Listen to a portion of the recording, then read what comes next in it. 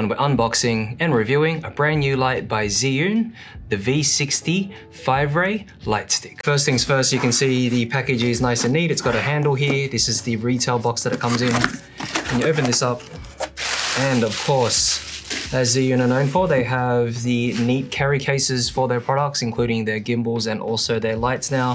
This is a nice sort of gray material. It's typical of all their other style cases and two zippers to open the main compartment and we have the new light stick. So the first impressions on this light stick here